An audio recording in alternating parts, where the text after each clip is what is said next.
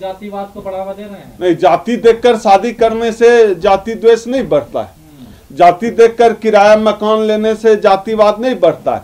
जाति देखकर कोई बच्चा जो है कोई मंदिर में घुस जाए पीट देते हैं तो जाति जो है भेद नहीं बढ़ता है। जाति और जाति जनगणना से जो है आप जातिवाद बढ़ रहा है। ये व्याकरण सवर्ण ही समझते हैं। नहीं तो उसमें प्रवीण तोगरिया ने कहने में ही देर कर दिया। कौन सा पद पे अभी मुसलमान नियुक्त है? देश का प्रधानमंत्री, राष्ट्रपति, राज्यपाल, एक भी मिनिस्टर मुसलमान नहीं है कि हमें अपनी जाति का नेता नहीं चाहिए। हमें अपनी जाति की बात करने वाला नेता चाहिए। ओबीसी समाज को ओबीसी नेता नहीं चाहिए। ओबीसी समाज की बात करने वाला नेता चाहिए। केशव प्रसाद मौर्य लगातार जो है, देश के ओबीसी समाज का जो है, नाक नीचा करने का काम कर रहे हैं। उस बेशर्म को शर्म भी नहीं आती, स्टूल पे जाके बैठ जाता है।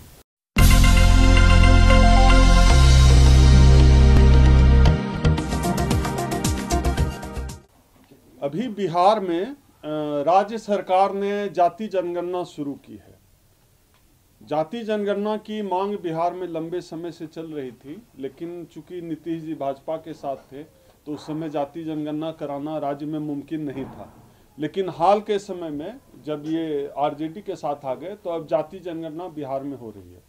जाति जनगणना की मांग हम सब की खास तौर पे इस देश के एस सी एस टी समाज की मांग बहुत पहले से हम मांग करते रहे हैं कि जाति जनगणना का प्रकाशन हो। बिहार में तो फिर से शुरू हो गया। पिछले दिनों, पिछले कुछ साल पहले देश में जाति जनगणना हो चुकी है। करोड़ों अरबों रुपए खर्च करके जाति जनगणना किया जा चुका है। बस उसका प्रकाशन नहीं किया केंद्र सरकार ने। क्यों नहीं प्रकाशन किया, इसका पीछे का जवाब स्पष्ट है। और जाति जनगणना क्यों होनी चाहिए, यह भी स्पष्ट है। जाति जनगणना को लेकर अभी जो मीडिया में जो हाय तोबा मची है कि कौन जातबा, मैं एक चैनल देख रहा था, उसमें हेडिंग ही लगा हुआ है, कौन जातबा? और उस पे बहस कर रहे हैं टीवी पर ये सवर्ण मीडिया वाले लोग कि जो है जातिवाद बढ़ाया जा रहा है जाति जनगणना करके, इसलिए शीर्षक ही लगा दिया, कौन जातबा? बिहार में पूछा जा रहा है, कौन जातबा? नीतीश जी पूछ रहे हैं, तेजस्वी जी पूछ रहे हैं, कौन जातबा? तो जो ये सवाल अभी जाति जनगणना होने पर पूछ रहे हैं, कौन जातबा, उस मीडिया वाले से हम पूछना चाहते हैं, उन मनुवादी मीडिया वालों से हम पूछना चाहते हैं कि जब तुम अपने बहन बेटी की शादी करते हो तो क्यों पूछते हो लड़के से, कौन जातबा? क्या लड़के से शादी करने से पहले नहीं पूछते हो, कौन जातबा? जितने टीवी के एंकर हैं, जितने टीवी के प्रोड्यूसर हैं, जितने टीवी चैनल के मालिक हैं, जितने मनु मीडिया वाले जो हाय तोबा मचाए हुए हैं, वो सब बताएँ कि वो अपने परिवार के, ज़ाहिर सी बात है सब सवर्ण है, वो अपने परिवार के बच्चों की शादी, लड़कियों की शादी, लड़कों की शादी किस जाति में करते हैं? और जब जातियों में शादी करते हैं तो क्या लड़के की जाति नहीं देखते? लड़की की जाति नहीं देखते? क्या वो सवाल नहीं पूछते कि कौन जात बा? तो बिना जा, जाति देखे आप शादी नहीं करते। इस देश में जातियों के नाम पर कब्रिस्तान श्मशान घाट हैं। इस देश में जाति के नाम पर मुजफ्फरनगर में तो कॉलेज चलता है। इस देश में जाति के नाम पे प्रमोशन मिलता है। इस देश में जाति के नाम पर जज चुने जाते हैं। इस देश में जाति के आधार पर टीवी में एंकर चुने जाते हैं। इस देश में जाति के आधार पर हम घर, मकान, मोहल्ला, किराए पर लेते और देते हैं। तमाम चीज़ों में इस देश में हर चीज़ में जाति घुसी हुई है तो फिर आखिर जाति जनगणना के प्रकाशन से, जाति जनगणना से के होने से आपत्ति क्यों है? इसका सीधा सा जवाब यह है कि जाति जनगणना होने का मतलब है इस देश में S C, S T OBC की कितनी आबादी है, यह पूरे देश को पता चल जाएगा। साथ ही साथ यह भी पता चल जाएगा कि अगर इस देश में S C S T OBC की आबादी 90 से पंचानवे फ़ीसदी है तो क्या वो इस देश के संसाधन में अपनी आबादी के हिसाब से प्रतिनिधित्व ले रहे हैं, अपनी आबादी के हिसाब से भागीदारी ले रहे हैं? ज़ाहिर सी बात है, नहीं ले रहे हैं। इसलिए जाति जनगणना से उनको डर लग रहा है, क्योंकि जाति जनगणना का प्रकाशन हो गया तो हर जाति को पता चल जाएगी कि हम तो आबादी में इतने प्रतिशत हैं, लेकिन मेरा एक जज नहीं है, मेरा एक वाइस चांसलर नहीं है। यह पता चल जाएगा। इस बात से इन मनुवादियों के पेट में मरोर उठा हुआ है कि इनको पता चल जाएगा। लेकिन हम यह बता देना चाहते हैं, यह जो जाति जनगणना हुई है, यह जाति जनगणना का जब प्रकाशन होगा उसके बाद इस देश का S C S T OBC समाज चुप नहीं बैठेगा, क्योंकि हमें पता है कि हमारी आबादी इस देश में बढ़ी है और हमारी हिस्सेदारी कम हुई है। अब हमारी अगली लड़ाई आबादी के हिसाब से भागीदारी होगी और जो बिहार का जो जाति जनगणना का प्रकाशन है, उसको होने के बाद उसको सैंपल माना जाएगा कि जितनी आबादी बिहार में बढ़ी है, उसी के हिसाब से, उसी अनुपात में पूरे देश में S C S T OBC समाज की आबादी बढ़ी है। उनका प्रतिनिधित्व तो बढ़ना चाहिए उनकी भागीदारी बढ़नी चाहिए। इस मांग के साथ हम लोग आगे काम करेंगे। सर कानून के तहत मतलब जातियों को कई भागों में बांट दिया गया है। जैसे उत्तर प्रदेश के अंदर निकाय चुनाव के अंदर ओबीसी का आरक्षण खत्म कर दिया है जबकि मध्य प्रदेश छत्तीसगढ़ के अंदर वो आरक्षण लागू किया गया। नहीं ये तो पूरे देश में हो रहा है। जहाँ भी बीजेपी की सरकार नहीं है। वहाँ की सरकारें लगातार S C S T OBC को उनका हक देने की कोशिश कर रही है। लेकिन जहाँ बीजेपी की सरकार है, ज़ाहिर सी बात है, बीजेपी की सरकार होने का मतलब सवर्णों का शासन, बीजेपी की सरकार होने का मतलब मनुवादियों का शासन, बीजेपी की सरकार होने का मतलब S C S T OBC के खिलाफ होने वाला शासन। S C S T OBC के खिलाफ जब ब्राह्मणों का, जब मनुवादियों का शासन होगा, उसका ये मतलब होता है कि ये लोग S C S T OBC के खिलाफ काम करेंगे। ये S C S T OBC का आरक्षण कैसे देंगे? जब वाजपेयी की सरकार आई तो विनिवेश मंत्रालय आया। अब जब मोदी जी सरकार में आए हैं तो लगातार देश की संपत्तियों को बेच रहे हैं। उनका उद्देश्य स्पष्ट है कि S C S T OBC समाज की हकमारी की जाए। हकमारी करने के लिए वो तमाम साजिशें कर रहे हैं। न केवल वो सीधे आरक्षण खत्म कर रहे हैं, बल्कि आप देखेंगे वो कोर्ट का भी, न्यायालय का भी सहारा ले रहे हैं। अभी उत्तर प्रदेश में क्या हुआ कि निकाय चुनाव को लेकर इन्होंने कहा कि निकाय चुनाव में, हाई कोर्ट कहता है, लखनऊ बेंच इन निकाय चुनाव में आरक्षण नहीं होगा। मतलब आप देखिए, न्यायपालिका का मनोबल कितना बढ़ा हुआ है कि वो अपने मनुवादी एजेंडे को न्यायपालिका सरकार के साथ साठ गांठ करके लागू कर रही है। उसको पता है कि इस देश में जो है अभी सरकार उनके पक्ष में है। वो S C S T OBC समाज को दोबारा जो है मनुवाद के दौर में धकेलने की तैयारी कर चुके हैं। सर पहले बैकवर्ड के लोग जो राजनेता थे वो कहते थे अपने तलवार और चक्कू घिस लो क्योंकि ये बाद में काम में आएँगे। और आज बैकवर्ड के लोगों को जब आरक्षण जा रहा है तो चुप क्यों बैठे हैं? नहीं ये तो जागरूकता का मामला है ना। हमारे समाज में जागरूकता तो हुई, मान्यवर कांसी राम साहब ने बड़ी जागरूकता की। जागरूकता तो हुई, लेकिन जागरूकता गलत दिशा में चली गई। गलत दिशा में ये चली गई कि जिस राजनीतिक दल को देश के एस सी एस ओबीसी समाज ने सत्ता में पहुँचाया, वो राजनीतिक दल खुद ही जातिवादी हो गए। जागरण तो हुआ। हुआ क्या कि एक खास जाति जो सत्ता में आने के बाद दूसरी जातियों को दरी पर बिठाने लगी। तो भाजपा जैसी पार्टियों को मौका मिल गया कि जिन जातियों को दरकिनार किया गया बहुजन आंदोलन से मिली सत्ता के बाद वो उन जातियों को भाजपा ने मंच दिया उन जातियों ने भा, को भाजपा ने सम्मान देने की कोशिश की भले ही स्टूल पर बिठाते हैं पर कोशिश की कि मंच पर बिठा दें उनका वोट ले लिया। तो यह जो जागरूकता है ये राजनीतिक दिशा सही तरीके से नहीं पा सकी। इस वजह से इस तरह का भटकाव समाज का देखने को मिला। लेकिन हाल के दिनों में बहुत सारे स्तर पे परिवर्तन हुआ है, बहुत लेवल पे परिवर्तन हुआ है। अब पहले वाली बात नहीं रही कि जो है आप S C S T OBC का आरक्षण खा लेंगे। कुछ नहीं कहे, कहा जाएगा। अभी जो लखनऊ वाला मामला आया निकाय चुनाव में, कोर्ट को वापस लेना पड़ा। ना S C S T act को लेकर जो कोर्ट का फैसला था, वापस होना पड़ा। तो अब वो मामला नहीं है। अब समाज थोड़ा जगा है असर भी है उसका जागरण का लोग आवाज़ उठाते हैं और सत्ता तक बस यह समाज अपनी आवाज़ ऊँची आवाज़ करके जरा 2 अप्रैल 2018 जैसा आंदोलन करके बस सत्ता के कान तक पहुँचा दे। लेकिन सर एक सौ अट्ठाईस ओबीसी सांसद भी हैं वो तो कोई डिमांड नहीं कर रहे हैं जनगणना की। नहीं क्यों करेंगे? ये जो एस जो ओबीसी सांसद हैं 128 उन ओबीसी सांसद को आपने इसलिए थोड़ा ही वोट दिया था कि वो आपके जाति की बात करेंगे। आप तो वोट दे रहे थे मोदी को। आप वोट दे रहे थे धारा 170 तीन सौ सत्तर हटेगा। आप तो वोट इसलिए दे रहे थे उनको कि मोदी जी राम मंदिर बनवाएँगे। आप तो वोट इसलिए दे रहे थे कि मुसलमानों का चूरी टाइट किया जाएगा।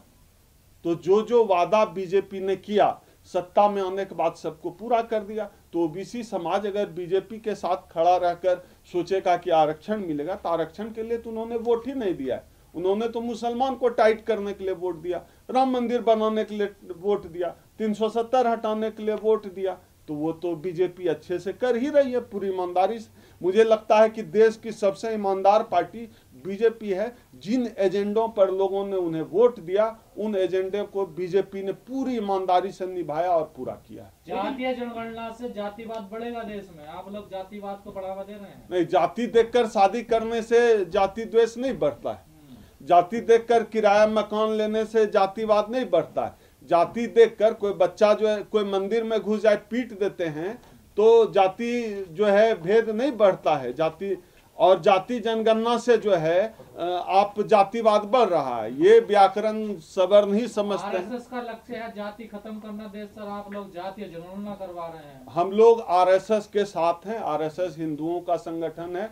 हम लोग भी हिंदू हैं हम लोग पूरी तरह आरएसएस के साथ हैं। बस आरएसएस का 100 साल पूरा हो रहा है। अपना चीफ किसी दलित को बना दे हम लोग आरएसएस के साथ हैं। बस हम लोग भी अपने को हिंदू मान लें। आरएसएस ब्राह्मण और दलित ये जो खटीक पासवान चमार मुसहर मेहतर इन जातियों के साथ ब्राह्मण और राजपूत की शादी करा दे आरएसएस सामूहिक रूप से कराने लगे तो हम लोग भी आरएसएस के साथ बांट रहे हैं आप लोग।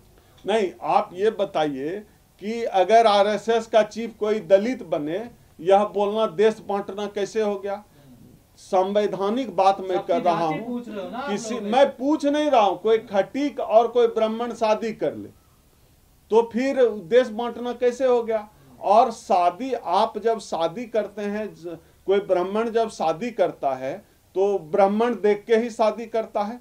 कोई ठाकुर राजपूत शादी करता है ठाकुर राजपूत देख के ही शादी करता है उससे जातिवाद नहीं बढ़ता। है हम ये कहते हैं कि जाति के आधार पर शादी नहीं हो तो देश बटने लगा। ये कौन सा तर्क है? इस तर्क को कौन समझाएगा हम तो क्या छत्तीसगढ़ में भी होगी अब जाति जनगणना अब ये तो वहाँ की राज्य सरकारें बताएँ S C S T OBC समाज को दबाव बनाना चाहिए कि पूरे देश में हो और राष्ट्रीय स्तर पे जो जनगणना हो चुकी है उसका प्रकाशन हो।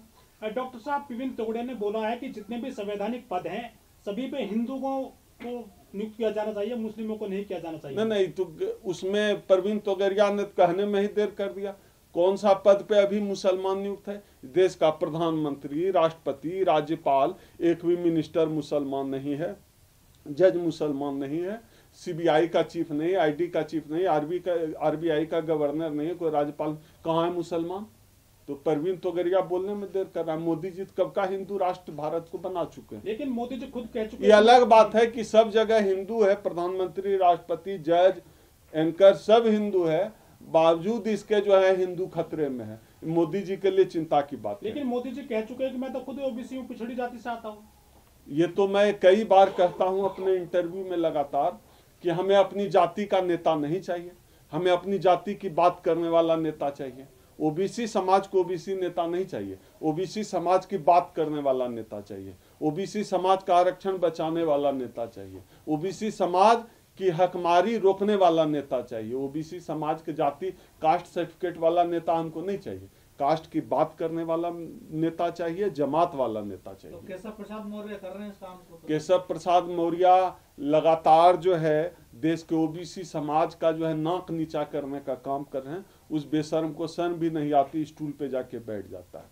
और जब ओबीसी की हकमारी हो रही है तो चुप बैठा हुआ है नकली नकली बयान देता है नकली नकली बात करता है। उस बेशर्म आदमी को चुल्लू भर पानी में डूब जाना चाहिए। लेकिन निकाय चुनाव में अगर आरक्षण खत्म हुआ तो उन्होंने मुकाबला करा देखिए। हाँ तो मुँह के ये तो मोदी जी के लोग हैं ना ये तो मुँह ये तो मुँह के शेर हैं ये तो डटकर लड़ेंगे मुँह के शेर। मोदी जी भी कहते थे किसी दलित के साथ कुछ हुआ तो फुट फुट कर रोने लगे। मुझे फांसी पे लटका देना चौराहे पे लटका देना पता नहीं नौटंकी करने में ये जो है अ, मुझे अगर सच में ये आदमी पढ़ा लिखा होता मुझे लगता है कि ये आदमी एनएसडी में टॉपर होता नेशनल स्कूल ऑफ़ ड्रामा में।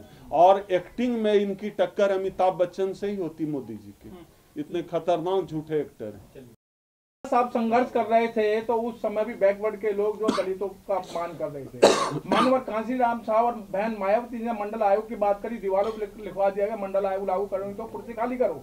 उस समय भी दलितों का अपमान किया जा रहा था। बिल्कुल। और हर जगह जो है दलितों का मान किया जाता है और आज वो उन्हें आरक्षण की क्या ज़रूरत पड़ी है? बहुत पैसा है। सरकार के अंदर यही तो लोग दलितों पर अत्याचार कर रहे हैं, जिनको बैकवर्ड की बात कर रहे हैं आप। देखिए, इसमें दो बात है पिपल जी। एक तो आप लोग जो कह रहे हैं कि जो है ओबीसी की आवाज़ हम उठाते हैं। ये सच है कि हमारे ऊपर लठ बजाया गया मंडल कमीशन के दौर में जब हम उनके सिफारिशों को लागू करने की बात कर रहे थे। बावजूद इसके, अब पहले वाली बात नहीं रही, जो बात मंडल कमीशन के दौर में थी।